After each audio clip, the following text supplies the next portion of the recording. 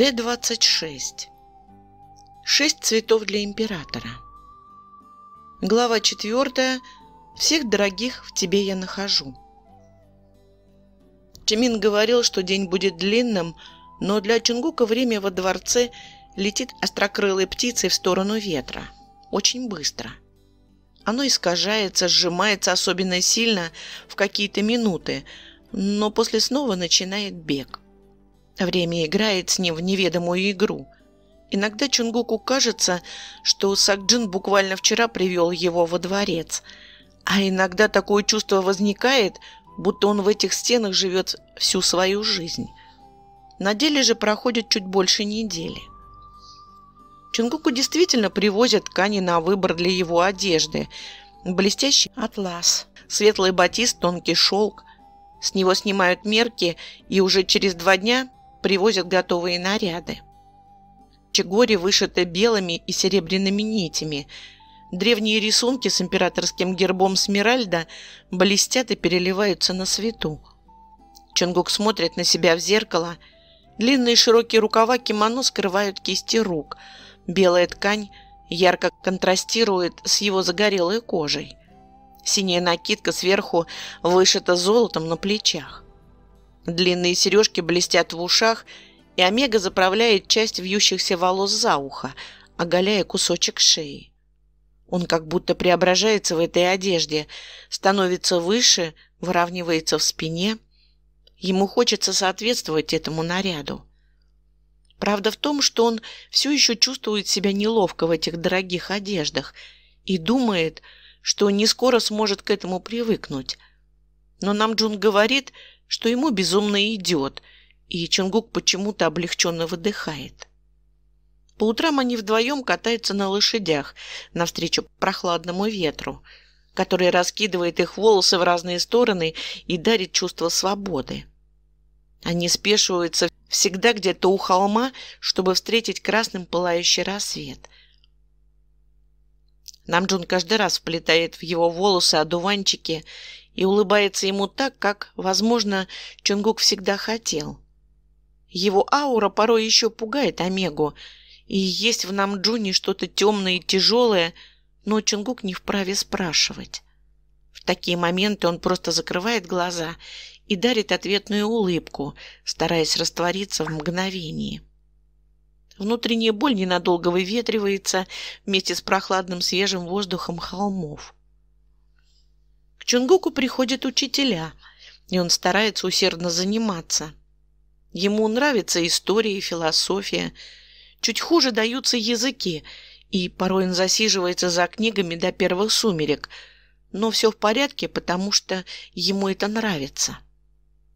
Иногда в библиотеку приходит нам Джун, и они молча сидят друг напротив друга, каждый за своей книгой – Часто заходит Чимин и приносит с собой что-то вкусное и сладкое. Берет за руку, просит сделать перерыв и тянет на улицу прогуляться. Чунгук замечает, как сильно эмоционально сближается с Чимином и задается вопросом, насколько могут быть ментально близки два человека, разделивших свои самые большие тайны одной морозной ночью. Время продолжает играть с Чунгуком – потому что нарочно замедляется, когда Намджун и Чимин находятся рядом в одном пространстве. Намджун захватывает его маленькую ладошку в свою, не сильно сжимает, переплетая пальцы, дарит поцелуй в щеку, нос и шею. И Чимин в такие моменты становится нетерпеливым. Сам встает на носочки, к шее Намджуновой прикладывается губами и дышит глубоко, будто воздуха совсем нет.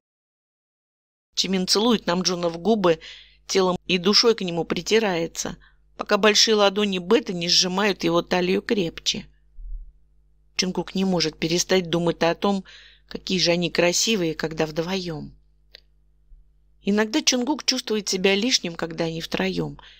Липкие мурашки неприятно холодят кожу, и он старается слиться с мебелью или выкраситься в цвет стен. Но иногда в редкие мгновения Чунгук чувствует себя причастным ко всему, что происходит между ними, и это отзывается чем-то особенно приятным у него под лопатками. В такие моменты он ловит их улыбки и старается улыбнуться им в ответ. Он не, не без восхищения замечает, как меняется Намджун рядом с Чимином. Становится мягким и нежным, будто расслабляется всем телом и душой. Когда они по темным утрам скачут верхом на своих лошадях, Намджун совсем не такой. Он твердо разговаривает с Чунгуком, и в глазах его небывалая серьезность и сосредоточенность, будто он тщательно выверяет каждое свое слово, чтобы никак его не задеть или случаем не обидеть. Но Бета относится к Чунгуку как к равному себе и более того, и этого более чем достаточно. Чунгук все еще помнит ту ночь, когда старший остался с ним до первых солнечных лучей и невесомо гладил через одеяло, пока сон не одолел его. И он чувствует благодарность. Нет, что-то большее, чем это. Привязанность или что-то более глубокое. Чунгук не намерен искать ответы прямо сейчас.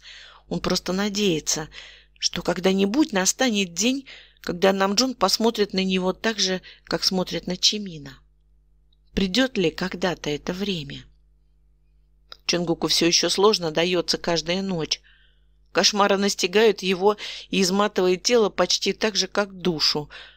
Он часто просыпается в холодном поту и натягивает на влажное тело шелковый халат.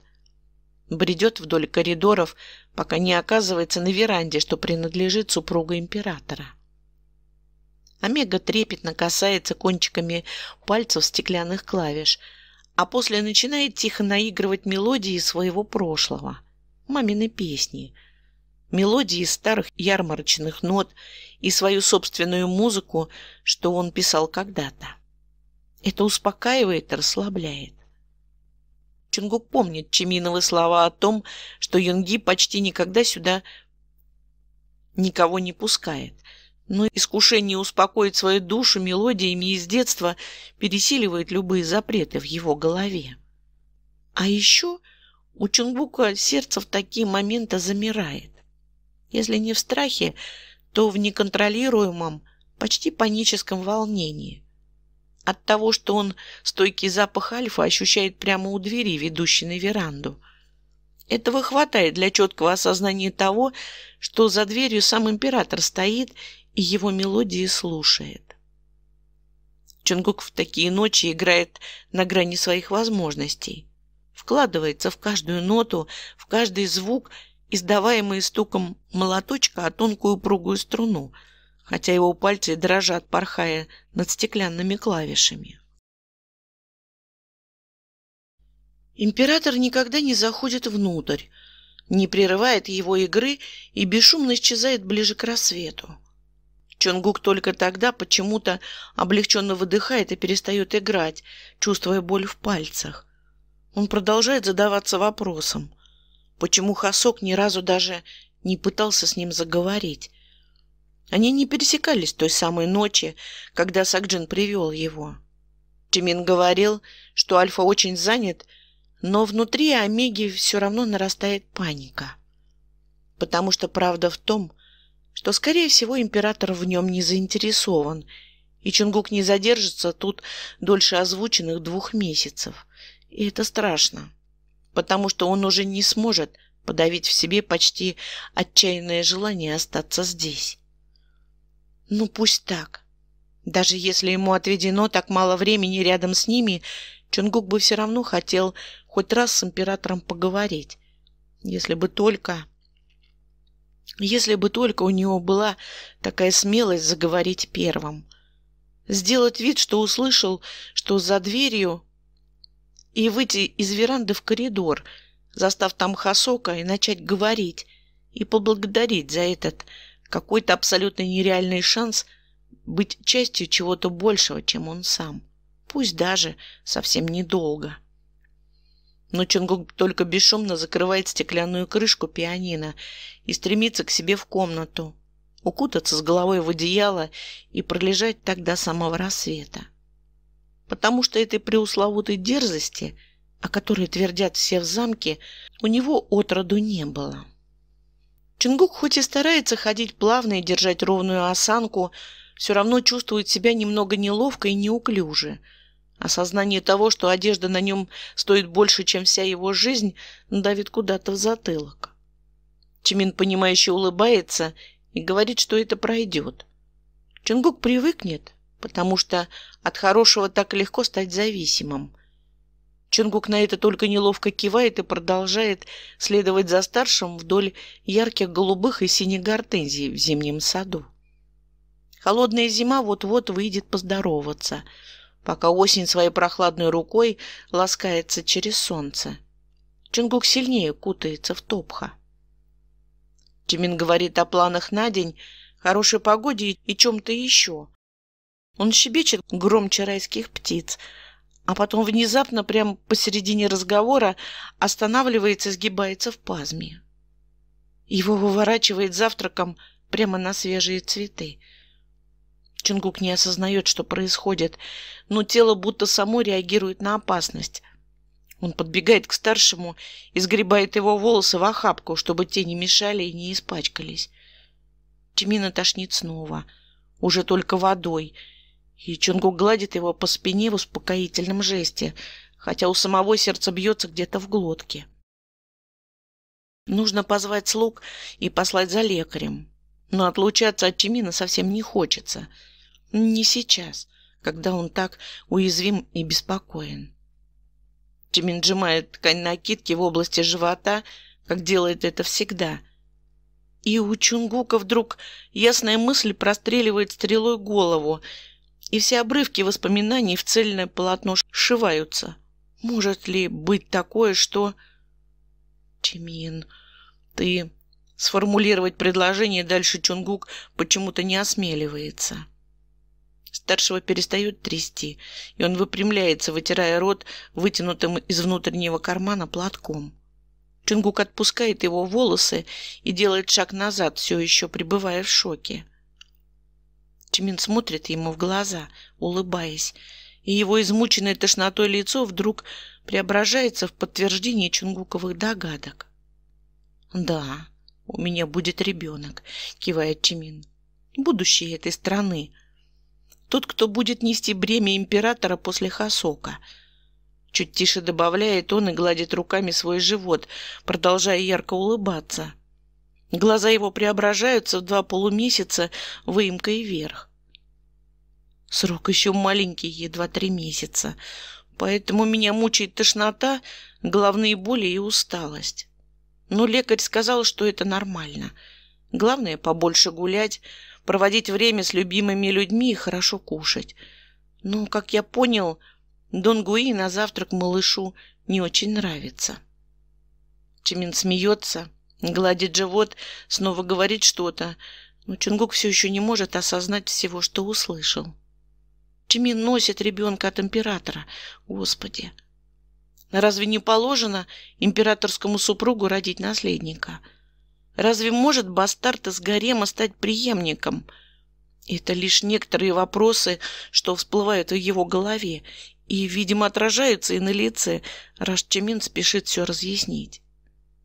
Это долгая история на самом деле, но я могу рассказать, если ты заинтересован, выдыхает Чимин, опуская голову к своим ногам. Прости, я не хотел тебя ничем обидеть. У Чунгука стойкое ощущение, что он сделал что-то не так. Он просто растерялся и не знал, как себя повести. Каким было выражение его лица в тот момент? Обидело ли оно старшего? Все в порядке. Я понимаю твои эмоции. Я бы и сам, наверное, испугался, узнав такое. Чмен нежно касается его руки и неспешно ведет к беседке в центре сада. И Чунгук в который раз восхищается тем, как проявляется Чиминова зрелость и проницательность. Они садятся недалеко от отцветших сакур и, и недолго молчат. А потом Чимин начинает тихо и неспешно говорить, прямо как на кухне неделю назад – чувственно и проникновенно. И Чунгук снова чувствует себя причастным к их жизни, и это приятно настолько, что невольно поджимаются пальцы в чоке с хлопковой подкладкой. Всем известно, что по традициям Юнги, как супруг императора, должен подарить ему альфу-наследника. Любой же, кто будет рожден от омег гарема, будет считаться бастардом и максимум сможет претендовать на должность в императорской армии. Поэтому я понимаю твои волнения. Чимин делает паузу, и Чунгук не находит времени лучше, чтобы спросить тревожащее его. Император знает о ребенке? Конечно. И Хасок, и Намджун с Акджином, даже Тэхёну я написал. Все знают. Чунгук только сейчас выдыхает с каким-то небывалым облегчением. Он даже не осознавал, что его тело было в таком сильном напряжении. Дело в том, что Юнги не может иметь детей, тяжело продолжает Омега.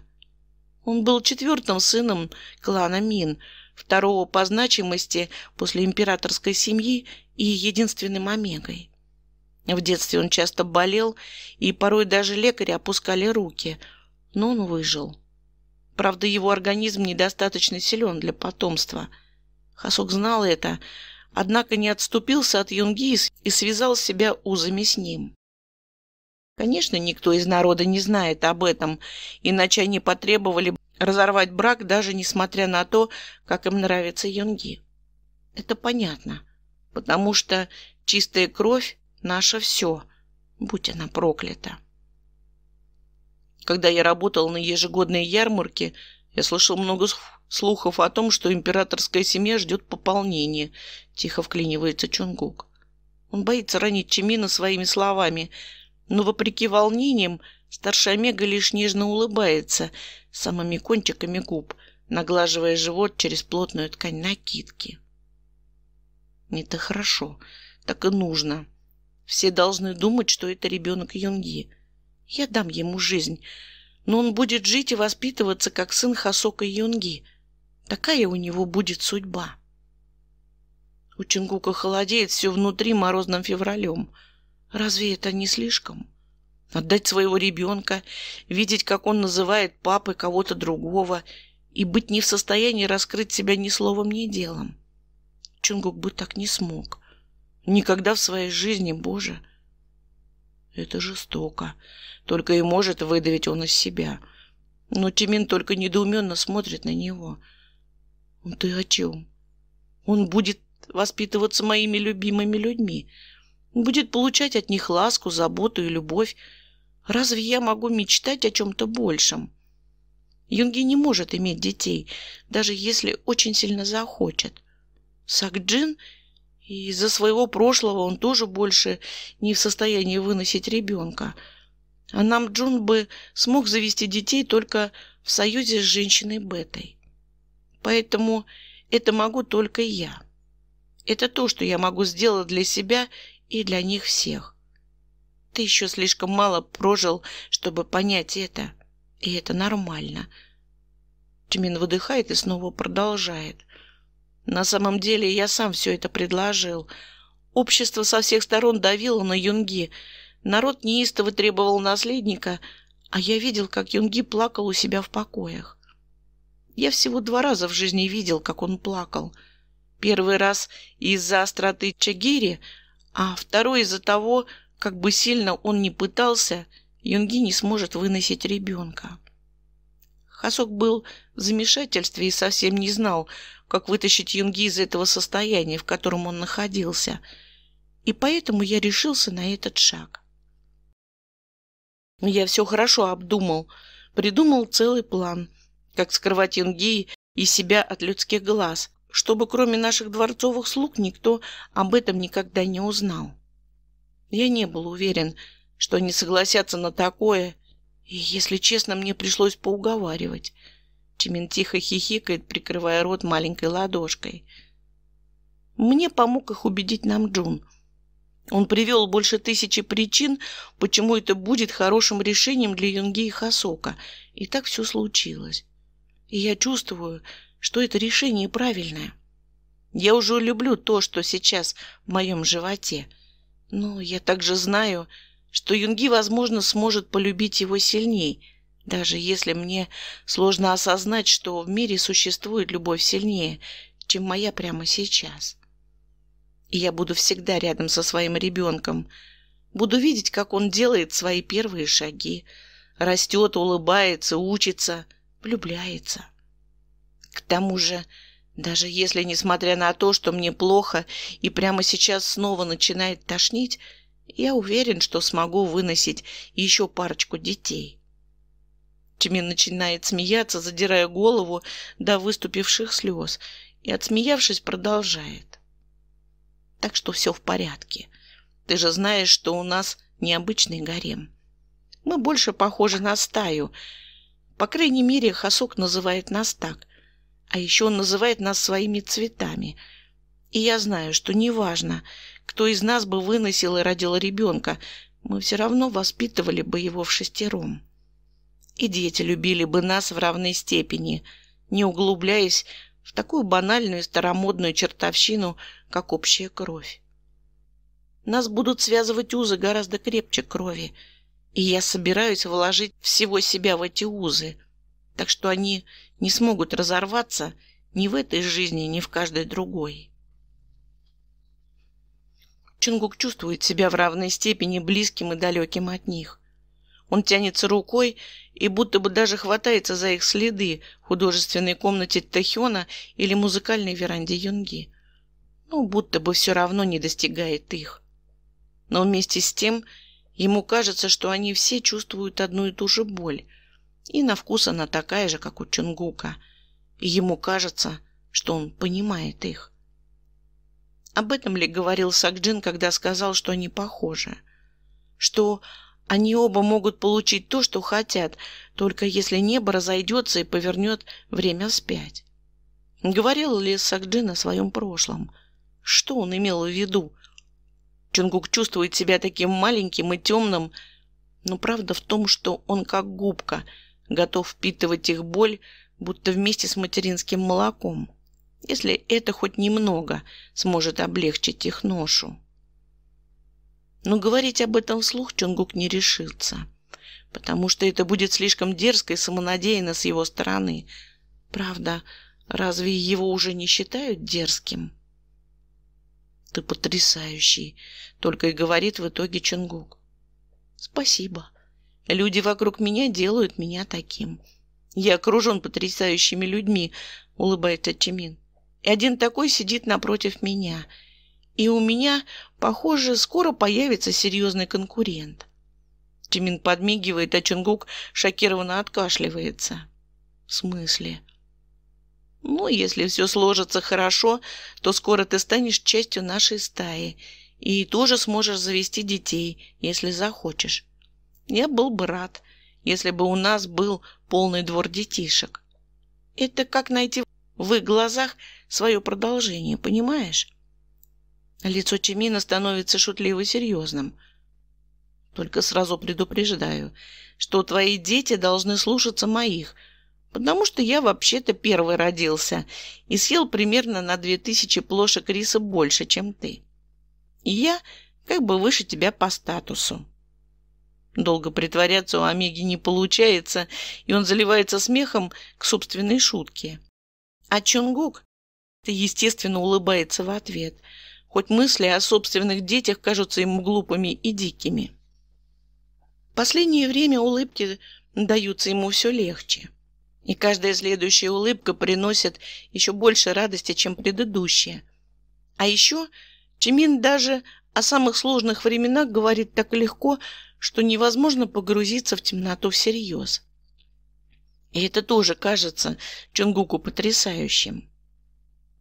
Мне нужно немного другого воздуха, так что нам срочно надо отдохнуть за пределами замка. Куда бы ты хотел? Чимин упирается руками в свои бедра и выглядит при этом комично и нежно одновременно.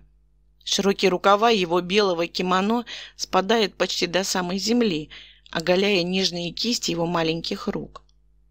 Чунгук все еще этой хрупкости не может перестать удивляться.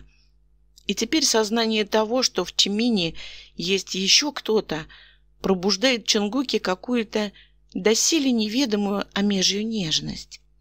Как омега к омеге. Будто не только они, но и их омеги могут подружиться. Пусть даже Чунгукова сейчас все еще висит распятая на кресте посреди мертвого пшеничного поля. «Может, к Сакджину?» – спрашивает Чунгук. Это как-то вырывается само собой, потому что он давно не видел старшего Омегу, будто целая вечность прошла.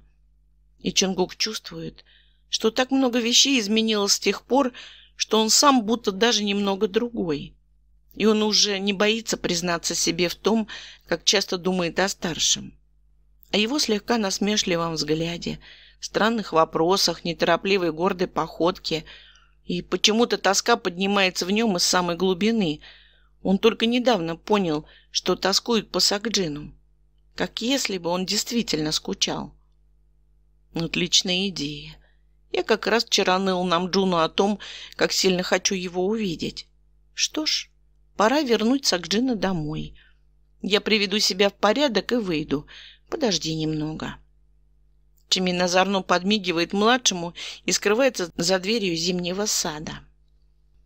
Они сидят вдвоем друг напротив друга, пока Паланкин монотонно потряхивает вверх-вниз. Чимин скучающе подпирает подбородок рукой и смотрит на сменяющиеся виды домов через маленькое окошко. Чунгук долго собирается с мыслями, прежде чем спросить. «А ты Хён?» «Ну, что ты Хён?» Ты говорил, что тем, кто выносит и родит ребенка, можешь быть только ты. Но что насчет Тэхёна? Он тоже Омега, и с императором его связывает несколько десятилетий. Тэхён, он очень свободный, понимаешь? Тимин улыбается, все еще не отводя глаз от окна, и легко поглаживает свой живот. Он всегда был таким, ценил свободу больше, чем кто-либо, он без этого кислорода просто не проживет. Хасок знает это, поэтому ни за что бы не позволил ему запереть себя в дворцовых стенах, даже если бы Тихен и правда этого захотел. Такая вот у них любовь. Чеминовом голосе каждый раз при одном упоминании о своих любимых столько нежности появляется, что хочется его от всего мира укрыть, чтобы никто не видел любви такой внеземной совсем богами данной только для того, чтобы вознести до небес никак не ниже. И Чунгуку просто нечего на это ответить. Они заходят в дом Кисен через главные ворота, и воспоминания того вечера одно за другим обрушиваются на Чунгука. Прошло так мало времени, но для него будто маленькая жизнь от рождения до смерти произошла. Здесь все точно так же, как он помнит. Низкие столики, по центру двора деревянный подиум, окруженный потухшей с ночи берестой, и маленькие домики ровными рядами вдоль. Небо куполом вокруг домиков синее-синее, сияющее своей чистотой и глубиной. Каменная дорожка под ногами расчищена от красных листьев – и необыкновенная обеденная тишина перекликается шумом ветра и звуком колокольчиков из храма неподалеку. Они приближаются к главному дому, и Чонгук слышит четкие отстукивания Чангу. И чем ближе они, тем сильнее ощущается вибрация земли от этих звуков. Чонгук заходит в главный дом следом за Чимином, и взору его предстает с десяток красивых омег. Они вышагивают друг за другом по кругу в такт барабанов. У одних на головах тяжелые книги с топкой, у других подносы с круглыми фруктами. Все они как на подбор, тонкие, хрупкие, длинноволосые и ухоженные. Их руки прячутся за спинами, а вышитая блестками одежда льется за ними тихой рекой.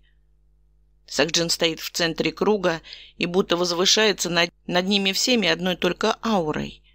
Его собранные наверху волосы украшают розовые амарилисы, а распахнутая магоджа открывает зору белые чугори, вышитые голубыми цветами.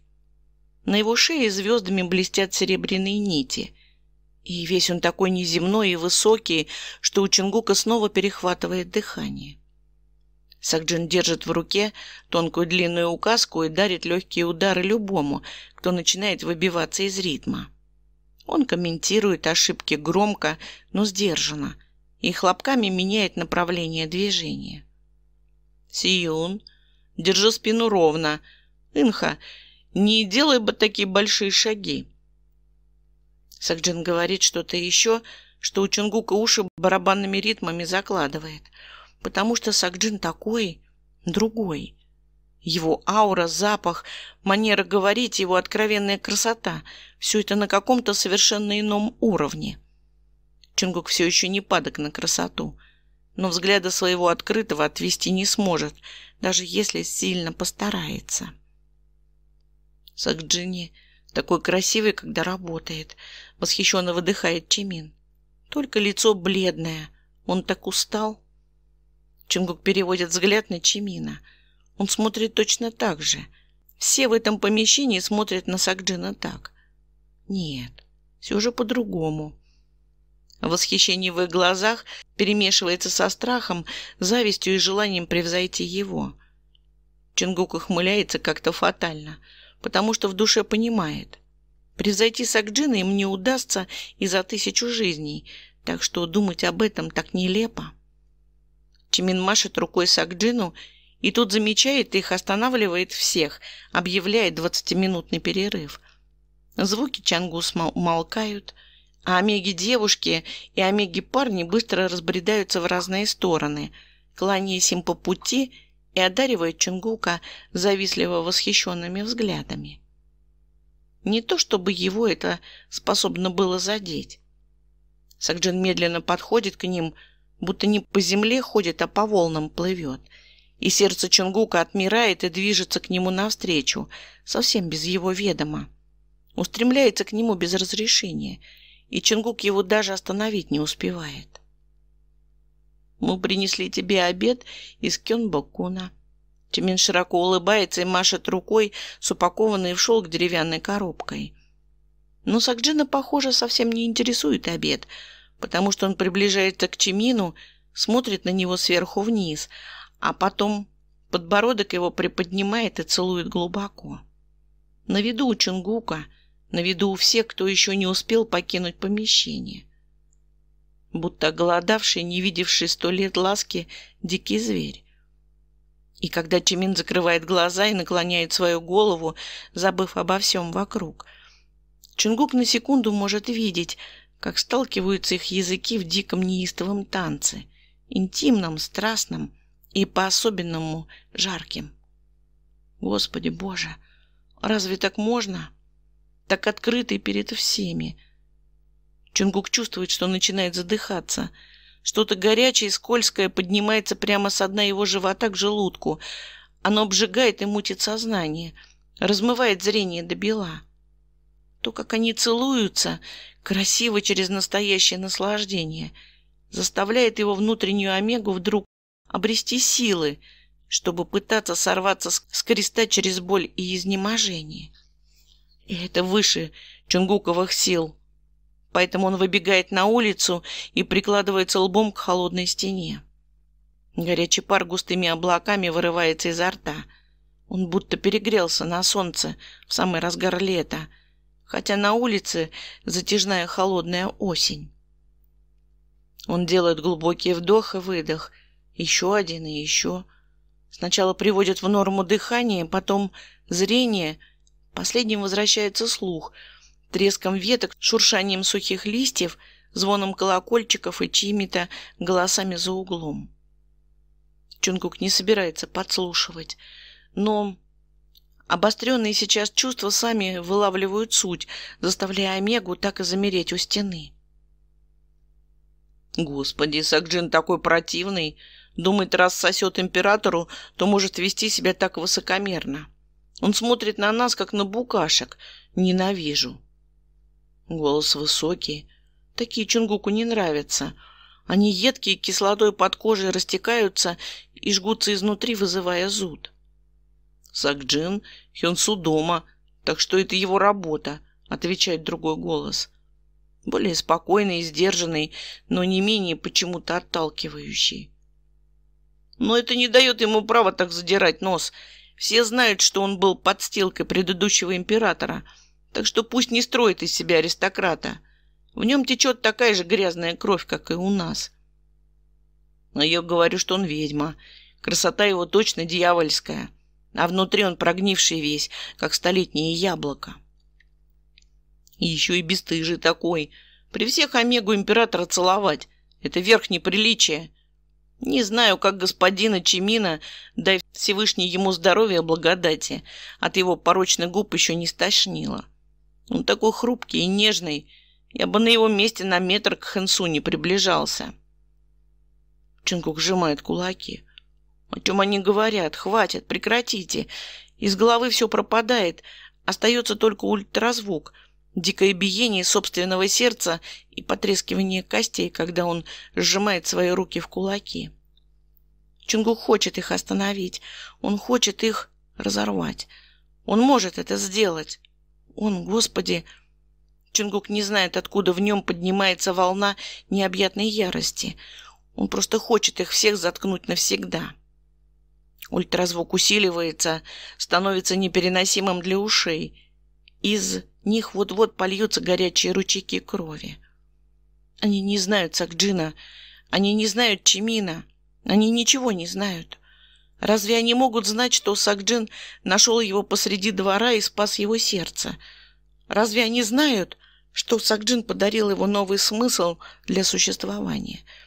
Разве они знают, насколько сильно умеет любить Чимин, чтобы никогда не оттолкнуть губы Сакджина от себя?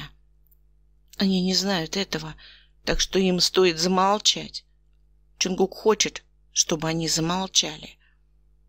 Вена вздувается на его загорелых руках, и Чунгук впервые в жизни ощущает такую силу в себе, в своем теле, в своем сердце.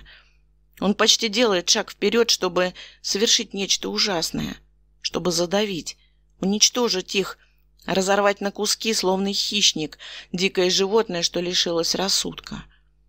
И откуда только в нем все это темное и доселе неизвестное, оттого пугающее сильнее, чем что-то либо до.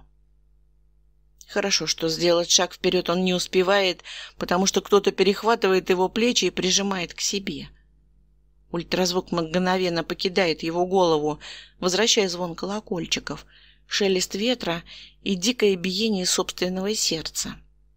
Тяжелое дыхание вырывается из груди облаками пара, а перегретое тело начинает остывать и покрываться мурашками на осеннем ветру.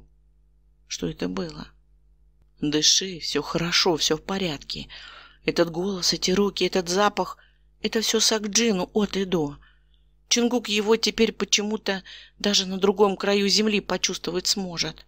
И он держит Чунгука в своих руках крепко и сильно.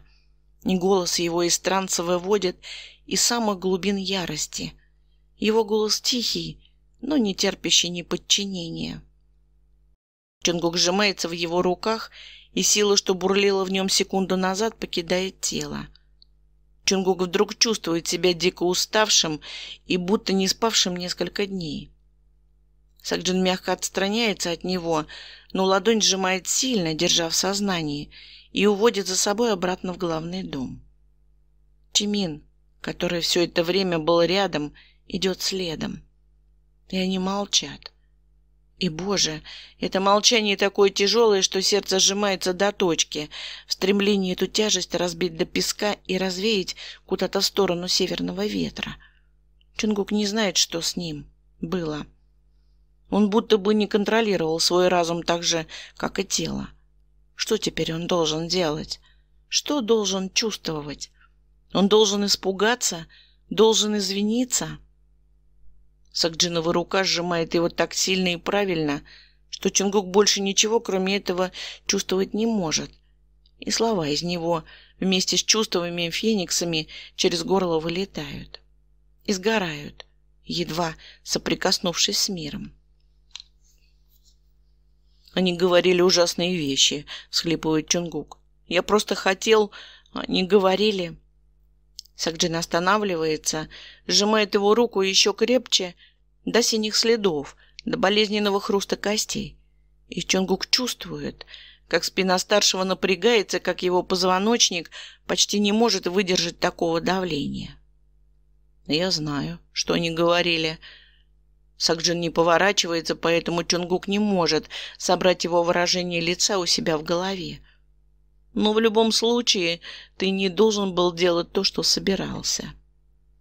Чунгук хочет спросить, что он собирался делать, потому что даже он сам не знает ответа. Собирался ли он их уничтожить? Чунгуки. Голос Чимина просачивается в разум мягкостью и привычной нежностью. Он подходит к Чунгуку и ставит свою ладошку ему на плечо. Что бы они ни говорили, нам не стоит реагировать на это подобным образом. Нам вообще не стоит на это реагировать. Даже если Сакджин не заслуживает этой ненависти. Почему? Вместо этого спрашивает Чунгук. Потому что именно это и означает быть омега-император Чунгук. Сакджин поворачивается к ним, и в голосе его, в его взгляде и осанке Чунгук только видит боль. Господи, он видит боль такую, что почти не может ее стерпеть, не закричав и не разорвав себе горло. Чунгук не очень хорошо читает людей, но этого и не требуется, потому что Сакджинова боль на виду вся, открытая и большая настолько, что ее невозможно игнорировать. Кто Сакджин такой, чтобы так волновать Чунгука? И какая история стоит у него за спиной, расправляя черные, почти осязаемые крылья? Разве это причина, чтобы не защищать себя? Разве это повод позволять ужасным сплетням распространяться? Разве у вас нет власти, чтобы прекратить это? Спрашивает Чунгук, стараясь звучать спокойно, но как-то это вообще возможно, когда внутри всего его нутра Сакджинова боль гнезда вьет. Ну, неважно, как много власти у меня есть. Я не смогу искоренить эту ненависть. Пусть даже буду обладать всей властью этого мира. Почему? Только и продолжает спрашивать Чонгук. Ему плевать, если его сочтут дерзким и бестактным. Ему все равно, если он нарушает нормы приличия, налегая и надавливая. Потому что ему нужен этот ответ. Потому что Чунгук, возможно, еще никогда не чувствовал себя таким близким к ним. Потому что в этом суть людей, Чунгук. Я думал, что это все рождается из боли, но когда я избавил это место от боли, все стало только хуже. Я могу предложить им доступ к знаниям этого мира, хорошую еду, красивую одежду, ночлег и безбедное будущее. Но им все равно еще нужна будет причина для ненависти. Неважно, что я предложу, этого всегда будет мало, потому что такова людская природа. Если альфа берут свою силу из злости – то Омеги из зависти. И это не искоренить. И власть тут совсем ни при чем. Сакджин выглядит уставшим и немного раздраженным. Он потирает свою переносицу, прикрывает глаза, глубоко вздыхает и негромко говорит. «Лучше пойдемте домой».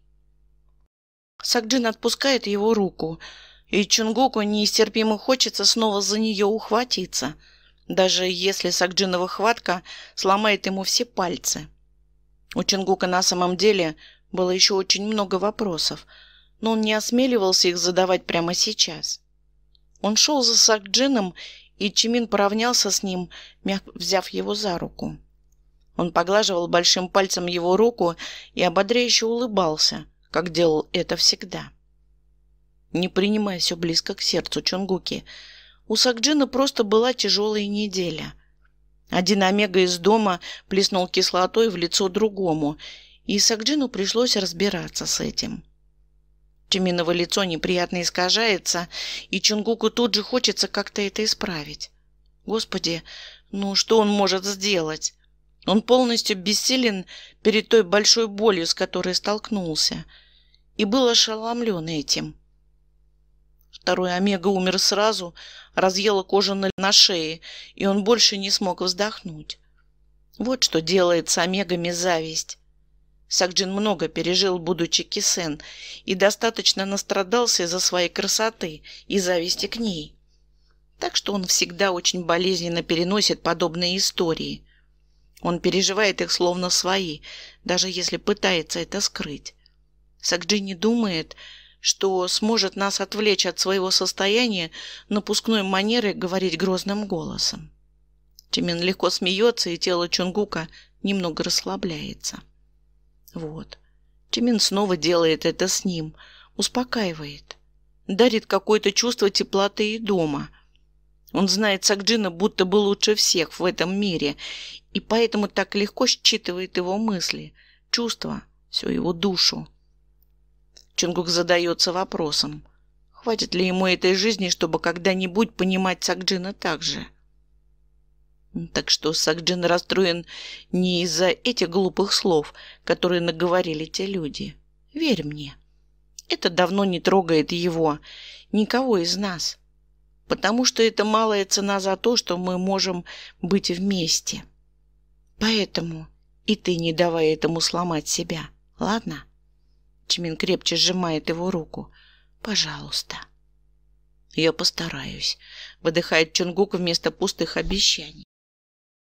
Он не знал, получится ли у него, потому что правда в том, что его совсем не задевали завистливые взгляды Омег в его сторону. И он уверен, что не подействовали бы и слова. Но он не мог не среагировать на то, что кто-то говорит такое о людях, для которых Чунгук хочет стать чем-то большим, чем он есть на самом деле. Это темное, что пробудилось в нем сегодня, на самом деле очень пугало – и Чунгук не знал, как обрести власть над этим чувством. Он также знал, что хочет защитить этих людей больше, чем что-либо в своей жизни. «Позволишь мне сесть с Акджином в один паланкин?» – спросил Чунгук. У него не было никакого плана, но он точно чувствовал, что должен был поехать вместе с ним. Было кое-что, над чем Омега думал целую неделю, и, наконец, у него было что сказать. Чимин удивился, но понимающе кивнул. Господи, Чунгук был так сильно благодарен за Чиминова сверхчеловеческое понимание. Сакджин сделал вид, что не заметил, как Чунгук забрался в паланкин следом за ним. Он лишь поставил свой острый подбородок на руку и безучастно смотрел в окно. И, боже, он все еще оставался таким красивым, и Чунгук знал, что на самом деле скучал по нему, как если бы он правда имел на это право. Он не знал, как стоило описать то, что он чувствовал к Сакджину. Это была не любовь, но что-то более глубокое. Они были похожи. Чунгук почему-то чувствовал, что они были одинаковыми, даже если боль Сакджина превосходила Чунгукову в сотни раз – даже если сейчас Чунгук не мог с ней справиться. И именно поэтому он должен был обрести более сильный голос, чтобы разбудить эту тишину. Я нашел другой ответ, и он кажется мне правильным. Возможно, было слишком дерзко начинать разговор первым, но он чувствовал, что должен был. Сейчас. Потому что он правда долго искал этот ответ внутри себя – и потому что он хотел заполнить ту пропасть, что была между ними хоть чем-нибудь. Сакджин перевел на него задумчивый взгляд, но продолжил молчать. «Спросите меня снова», — решительно сказал Чонгук. «О чем? Какая разница между слоном и блохой?» На Сакджиновом лице, кажется, проскользнуло мимолетное удивление. Он раскрыл свой белый веер с розовым драконом и размашисто обмахнулся пару раз. Лиловые кисточки веера зашелестели в тишине. «Какая разница между слоном и блохой?» Все же повторил Сакджин. В его голосе была заинтересованность и будто бы даже нетерпение. Между ними нет никакой разницы. Слон может съесть блоху, но и блохи могут съесть слона. Блоха не станет слоном, как и слон не превратится в блоху. Просто потому, что слон был рожден слоном, а блоха блохой. И это, пожалуй, единственное, чем они отличаются. Сакджин смотрит на него долгую секунду, продирающий по-настоящему глубоко, а потом смеется. Криво, высоко, некрасиво. Так как Чунгук слышал это в самый первый раз. Так как он успел полюбить этот смех сейчас. Ему больше не страшно самому себе в этом признаваться. Ты все-таки такой забавный, Чунгук. Говоришь такую милую чушь. Сакджин снова смотрит на него сверху вниз, немного надменно и остро. И, боже, лучше так. Пусть лучше смотрит на него так, чем с бесконечной болью, которую Чунгук пока не может выдержать. «Признаю, твои рассуждения мне нравятся». Сакджин больше ничего не говорит. Они продолжают ехать в тишине, только колокольчики с острых крыш мелькающих домов дребезжат на открытом воздухе и разносятся по ветру звонкой мелодией. Я слышала о том, что случилось в доме. Мне жаль. Все же нарушает тишину Чунгук, не желая с ней мириться. Пусть даже теперь она не давящая и не тяжелая. Просто потому, что он не хочет терять ни одной минуты наедине с ним. Только не теперь, когда отчаянная смелость переполняет его. Здесь не о чем сожалеть. Альфа-омеги в сущности не важно. Все пытаются получить то, чего у них нет. Вот и все. Я такой же. Чунгук не хотел этого спрашивать, но все выходит наружу само собой, будто без его ведома. Он сжимается сильнее под удивленным взглядом старшего и нервно сглатывает. Его опять сочтут слишком дерзким. «А ты как думаешь?» Сакджин смотрит на него выжидающе. И правда в том, что у Чунгука уже есть ответ. Пусть даже он ему не нравится, пусть даже он противной слизью в легких расползается. Потому что, наверное, он и есть та самая блоха, что жаждет стать слоном. Я думаю, что ничем не отличаюсь от них. Его голос предает его, сипит и почти исчезает под конец, а сердце наполняется тяжестью. Сакджин задумчиво оглядывает его, снова раскрывает веер, обмахиваясь. Чингук засматривается на его тонкие запястья, увешанные серебряными нитями браслетов. «Почему?» — только и спрашивает Сакджин. «Разве это не очевидно?» «Потому что я тоже хочу получить то, чего у меня нет. Любовь, преданность, внимание, чувство нужности, дом». «Что ты хочешь получить, Чунгук?» «Семью». Из всего, что он хочет получить, это самое ему необходимое. Он хочет его больше, чем что-либо в своей жизни. И что ты готов отдать за это? Все, выдыхает Чунгук. Сакджин надменно улыбается и вальяжно откидывается на бархатную подушку. Тогда ты отличаешься, потому что ты не хочешь этого просто так – потому что ты готов отдать за это все, что у тебя есть, даже если у тебя ничего нет. Поэтому Намджун признал тебя. Поэтому Чимин открылся тебе. Откуда вы знаете об этом? Сакджин выглядит как человек, который знает все в этом мире, так что Чунгуку пора бы перестать удивляться. Между ними пропасть в пятнадцать лет, а по ощущениям в несколько тысячелетий – и Чунгуку не дотянуться до него, по крайней мере, не сейчас. У стаи нет секретов. Кажется, где-то он уже это слышал. Чунгук не знает, что на это ответить, но, похоже, Сакджину этого и не нужно. Он немного наклоняется вперед, будто желая поведать младшему какую-то тайну.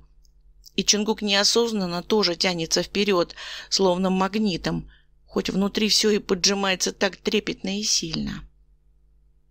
И раз часть стаи уже признала тебя, то ты на правильном пути, детка. Это нелепое, непристойное прозвище снова, и Ночингук теперь тянется за ним, потому что это значит, что старший Омега не потерял к нему интерес, что он все так же заинтересован. И поэтому Чунгук готов на него отозваться, не только мыслями, но и телом, и своей голой душой. Сакджин о чем-то задумывается, а после с глубоким вдохом откладывает веер на золотой бархат подушки и протягивает ему свою руку. Чунгук знает, что это значит.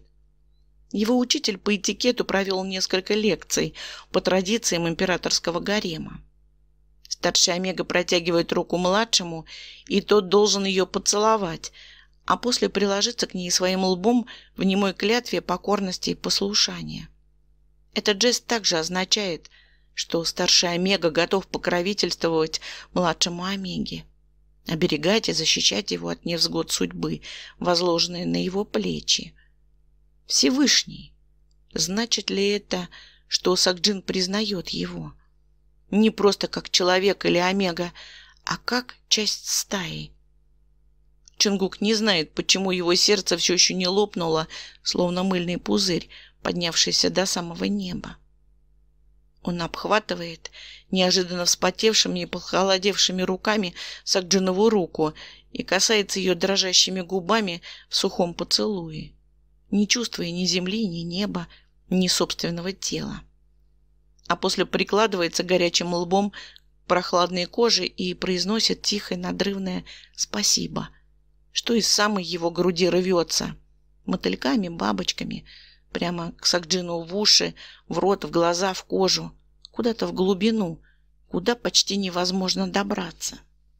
Сакджин, кажется, затаивает дыхание и мягко отнимает руку. Чунгук нечеловеческими усилиями сдерживает себя, чтобы не потянуться следом за ней, хоть в самый ад, хоть куда-нибудь еще. «Пока рано меня благодарить. Ты должен очаровать императора, он наш вожак. Так что ты уж постарайся. Сакджин подмигивает и вылезает из паланкина первым, когда слуга открывает ему дверцу. Чингук даже не заметил, что они приехали. Младший вылезает следом. К нему присоединяется Чимин, чистый, светлый, безумолку болтающий, и, кажется, тоже все знающий, будто на каком-то другом уровне. Они что, так сильно чувствуют друг друга? — Чингук останавливается на полпути и почему-то не может сдвинуться с места от своей догадки. Ноги его будто плавятся прямо в каменную дорожку под ним. То, что на их телах есть метка императора, неоспоримый факт. Но может ли быть такое, что они мечены друг другом тоже? Что на теле каждого есть еще четыре метки, помимо императорской? Иначе как объяснить их связь? То, как они чувствуют друг друга, будто бы общаются между собой, не говоря, не касаясь, одними только мыслями и глазами, даже на расстоянии. Разве такое вообще возможно? Разве человеческое тело способно принять столько меток? Если у него все получится, сможет ли его тело принять их все? Чунгуки, все в порядке? Тимин тормошит его плечо и беспокойно смотрит в глаза. Да, «Все хорошо, спасибо». Чингук улыбается в ответ. «Пойдем в дом, тут холодно». Пока еще рано об этом говорить. Пока что Чунгук от них еще так сильно далеко. Но у него теперь есть Чимин, есть Намджун. Сегодня его признал Сакджин, тот, которому Чунгук испытывает что-то такое потрясающе огромное, что просто физически пока не способно поместиться в его сердце. Всевышний. Он так сильно хочет с ними остаться. Если бы только император одарил его своим вниманием, Чунгук бы что угодно сделал. Они заходят в Кёнбакон.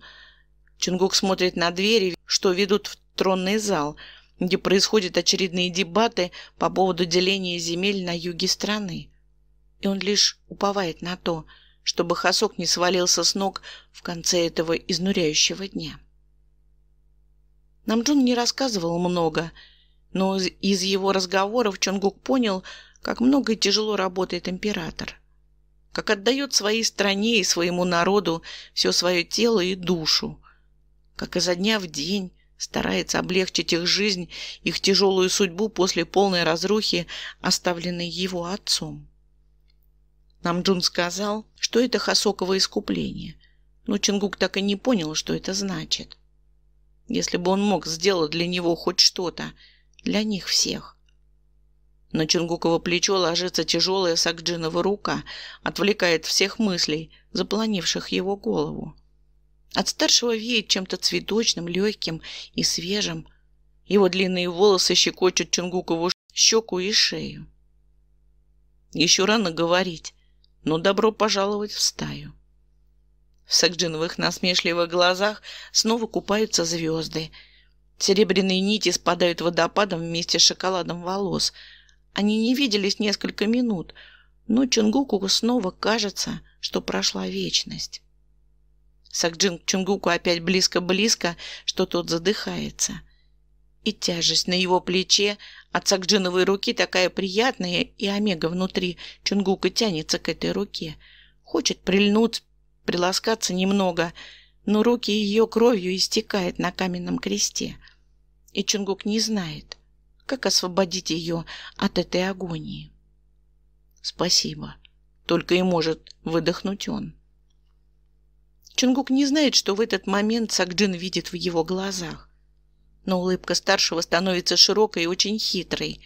Он тянется кончиком веера к Чунгукову подбородку, немного царапая чувствительную кожу шеи, и поворачивает его голову к себе, очень близко, неприлично и обжигающе близко, и выдыхает горячо.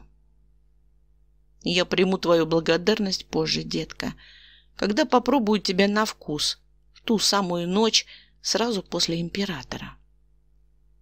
Сакджин уходит, оставляя Чунгука с красными стыдливыми пятнами по всему телу, горячим лбом и совсем без воздуха, и воющий омега внутри, что сдирает кожу в кровь, освобождая свою правую руку. Сакджин идет вдоль коридора к своей спальне, мягко держа Чимина за руку. Тот едва успевает за его размашистыми шагами – Сакджин старается отвечать приветствиями на поклоны прислуги, но внутри горит весь в красном пламени.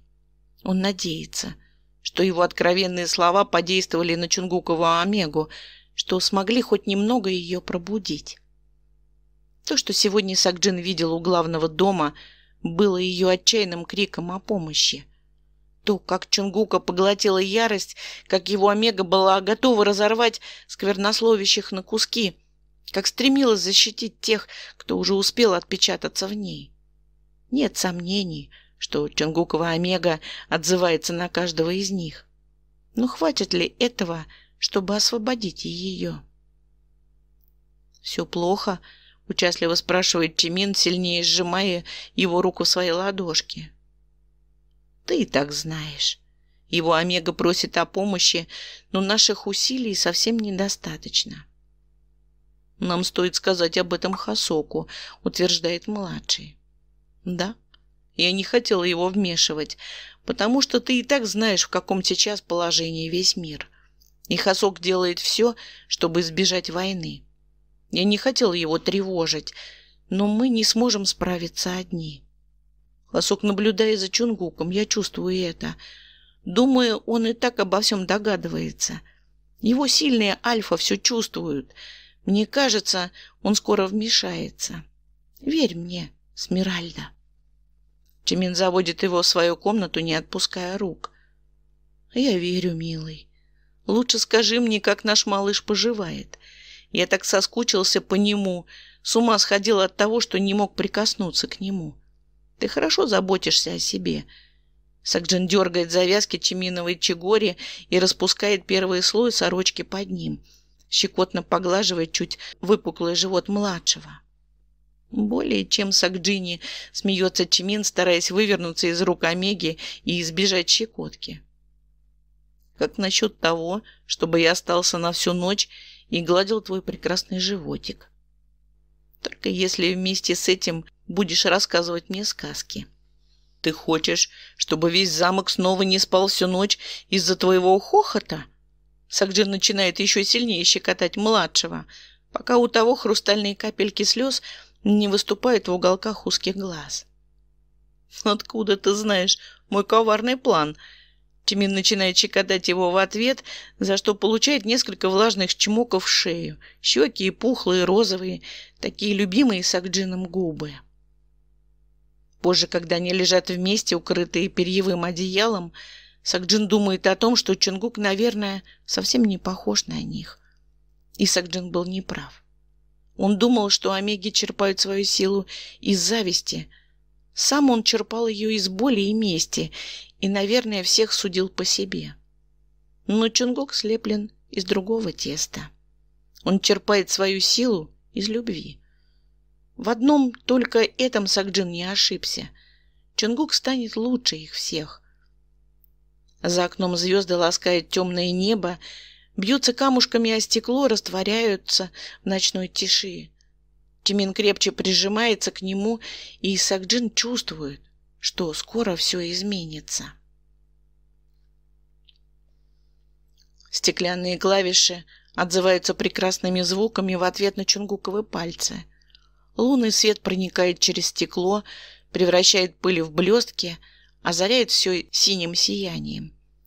Сегодня Чунгук снова не спит. Но не кошмары прошлого волнуют его сердце, а бесстыдные слова Сакджина. Эти слова залезли в него и разожгли синий огонь, и теперь Чунгук весь горит внутри и он не знает, как этот огонь в себе усмирить, не дать ему разгореться до пожара, ведь сознание то и делает, что подкидывает образы. Сакджина, что плывет вдоль ярмарочных рядов жарким летом. Сакджина, что протягивает ему свою руку для поцелуя. Сакджина, что танцует на деревянном подиуме перед домом Кисен в ту самую ночь. За последние воспоминания Чунгук цепляется особенно – пытается в своем воображении восстановить его плавные движения, его ровную осанку, натянутые плечи и разлеты тканей в движении. Его пальцы неосознанно восстанавливают мелодию сакджиного танца, звук за звуком, пока Чунгуку не удается полностью погрузиться в этот волшебный момент. И все вокруг исчезает. Когда мелодия льется из инструмента, плывет по стенам, по полу, сплетается с лунной синевой. А потом все стихает, Чунгуково сердце дрожит, а громкие хлопки вдруг кажутся звуками грома среди тишины. «Хорошо играешь», — звучит откуда-то из-за спины хрипло и остро. Этот голос сопровождается звонкими хлопками ладошек, что быстро стихают, вновь оставляя звенящую тишину. Но не помню, чтобы давал позволение кому-то заходить сюда. Чунгук испуганно вскакивает со стула, резко поворачивается и сразу склоняется в глубоком поклоне. Ком подкатывает горло, какой-то холодный и волнительный. «Простите мою дерзость, Ваше Величество». Его руки трясутся, холодная капля пота скатывается с виска по шее. Чунгуку не нужно видеть, чтобы знать, кто сейчас стоит перед ним. Супруг императора, Мин Юнги, без всяких сомнений – ведь эта веранда со стеклянным пианино в центре — его пристанище. Чунгук слышит тяжелый хриплый выдох, а после — шаркающие шаги и шелест ткани. «Выпрямись», — слышится ближе, и оттого более холодно. Чунгуку почему-то страшно поднять свой взор на старшего, но он переселивает себя и теряется на мгновение потому что Мин Юнги совсем не такой, каким являлся ему в видениях и пестрых представлениях воображения. Супруг императора маленький, миниатюрный, низкий, с сине-черными волосами, собранными в хвост, перевязанными шелковыми лентами.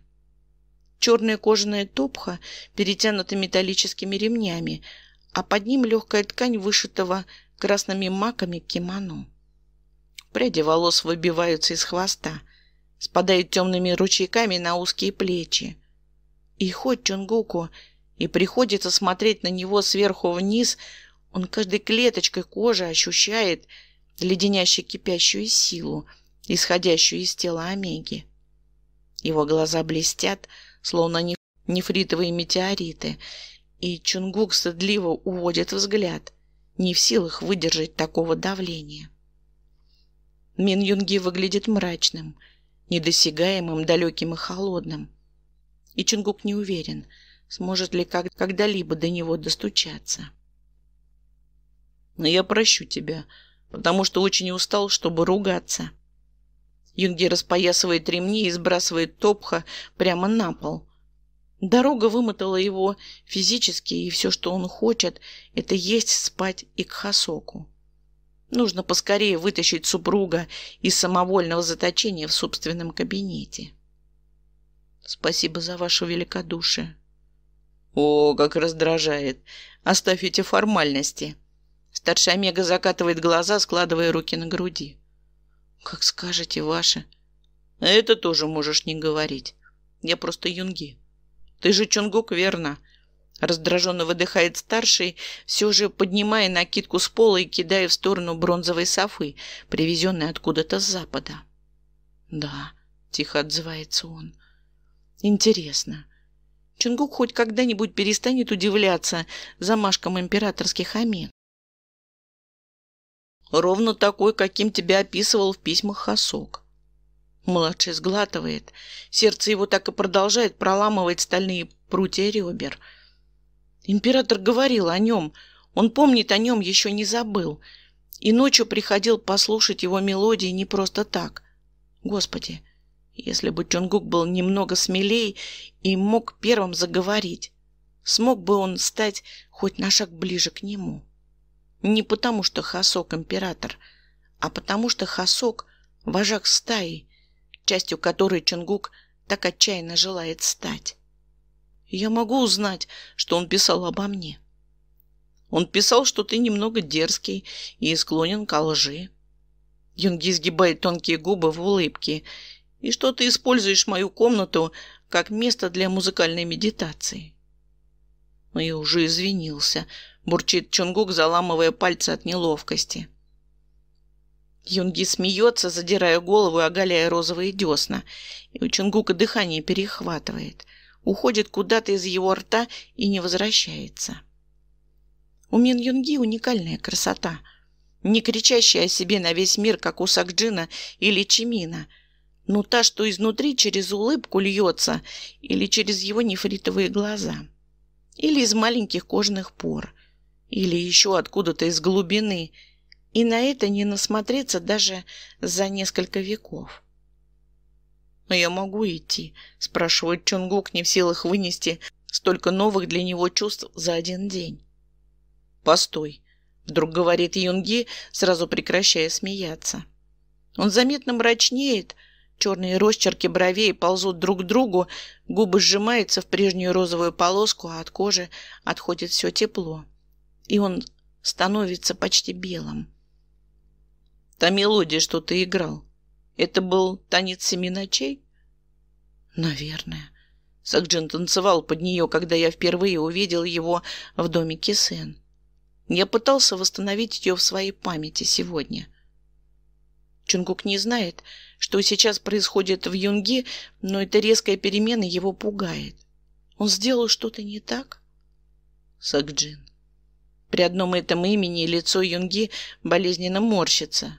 Правда, танцевал под нее? Да. Он отдавался музыке, словно своему давнему любовнику, у всех на глазах в ту ночь, когда я это видел. Он был прекрасен, словно эта музыка была создана специально для него. «Ясно», — выдавливает из себя бледный Омега. Чунгук не знает, что происходит, но ему очень хочется как-то утешить старшего Омегу. Всевышний, если бы он был в силах хоть что-нибудь сделать, возможно, Чунгука снова назовут дерзким, но он должен хотя бы попытаться что-то изменить. Это прекрасный инструмент. Сколько бы я на нем ни играл, признает только ваши пальцы. Я был бы до глубины души признателен, если был бы удостоен чести услышать, как вы играете. Чунгук старается перевести тему на единственную страсть старшего Омеги – музыку. Если верить словам Чемина, это должно сработать. «Ты слишком наглый для того, кто без разрешения пробрался в мой зал», и использовал инструмент, как заблагорассудится. Ну, так и быть, я сыграю. Только потому, что этой ночью я не против слушателя. Цвет так и не возвращается на лицо Юнги. Но черты его маленького лица выравниваются, и весь он становится спокойней. И пусть тонкая морщинка так и не покидает его лица, этого для Чунгука уже достаточно. Если он сможет сделать для них хоть что-то, чтобы им стало чуточку легче. Чтобы то темное и обременительное, что они несут на своих плечах и в сердцах, покинуло их на драгоценные мгновения. Чунгук понимает, что делает все ради этого. Юнги садится за рояль, вдруг становясь будто бы еще меньше. Его тонкие бледные пальцы касаются стеклянных клавиш, ласково, нежно, будто к любви всей своей жизни, и он начинает играть. Музыка льется Чунгука в уши, в нос, в поры кожи, в душу. Она откликается от стен, резонирует с полом, перемигивается синим сиянием луны, проникает куда-то глубоко и так неистово, так надолго. Инструмент в руках Юнги превращается в чуткую любовницу, что ждала его сотню лет. Такая ласковая, тонущая в истоме, в предвкушении изумительной ночи, страстной, обжигающей, нежной. Она истлевает при первых же солнечных лучах и станет тайной, общим секретом только между ними двоими, троими. Потому что Чунгук чувствует себя причастным к этой ночи, к этой луне, к звездам, к тому, что сейчас происходит между музыкой и юнги. И это так невыносимо красиво, что в Чунгуке переворачивается все, сжимается, снова разжимается, то перехватывает дыхание, то снова одаривает жизнью. Юнги умирает в этой музыке, потому что снова возрождается, и так почти до самого утра. До тех пор, пока Чунгук не засыпает на бархатной софе рядом. И ему снится музыка. Никаких кошмаров. Ни воя собаки, ни красной травы, ни застывших в боли лиц родителей. Ничего из того, что заставляло его всегда держать глаза широко открытыми. Под веками был только ворох ночных крылатых монстров, а сейчас лишь блаженная темнота и музыка. Музыка, музыка. Чунгук просыпается все той, на той же софе, когда осенние лучи ласкают его холодом через стекло. Юнги в зале уже нет, лишь тонкий шлейф его приятного аромата, которым пропитаны все ноты, все еще не выветривается через открытое окно. Чунгук прикасается к своей щеке и будто бы чувствует на ней остывшее прикосновение и почти неуловимый аромат альфы. Значит ли это, что Хасок приходил сюда этой ночью? Что смотрел на него, касался его, или это лишь его разбушевавшаяся фантазия, лишь обломок сна или видения. Чунгук выпутывается из вороха помятой одежды, разминает затекшее от неудобного ночлега тело и обнаруживает в собственной руке серебряный ключ.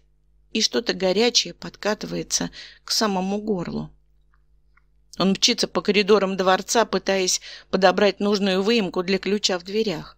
Отмахивается от прислуги, что все время предлагает ему помочь умыться или переодеться. Все это становится неважным, когда он находит ту самую дверь неподалеку от своей комнаты. Руки дрожат, но он все же отворяет ее, чтобы в пустом зале обнаружить рояль из черного стекла, прозрачного, через которые видна каждая струна и молоточек. Чунгук почти задыхается, когда прикасается к нему, почти умирает от переполняющих его чувств. На крышке рояля одиноко лежит тигровая лилия, а с ней записка. Чунгук трясущимися руками открывает ее, пытается удержать уплывающие буквы. «Я позволил себе наблюдать за тобой ночами, когда твоя мелодия звала меня». Прости мне мою несдержанность, и поэтому прими мой подарок. Я хочу следующей ночью также наслаждаться твоей музыкой. Чунгук не знает, может ли его сердце быть более полным, чем сейчас. Он не может удержать в себе все, нахлынувшие эмоции сочатся через каждую клеточку его тела, а Омега внутри так сильно дрожит, что вот-вот сорвется с креста и падет на теплую землю измученная, уставшая, но больше не удерживаемая ничем, кроме самой себя. Чунгук берет в руки тигровую лилию и долго смотрит на нее. Он слишком много знает про цветы, чтобы игнорировать ее значение. Пожалуйста, полюби меня. Господи, что делать, если Чунгук уже? Он видел императора один раз, один лишь раз говорил с ним, один лишь раз смотрел ему в глаза. Но не один раз чувствовал его. Не один раз разбирал его аромат среди других, не один раз думал о нем. Чунгук чувствует, как каждая клеточка его тела и души отзывается на него, на них на всех. И, возможно, душа его матери не передастся ему. Возможно, все, что с ним происходило до, было создано для этого момента. Чунгук не знает. Он уверен лишь в одном. Этим холодным осенним утром он возрождается заново. Всех дорогих в тебе я нахожу, и весь тебе им всем принадлежу.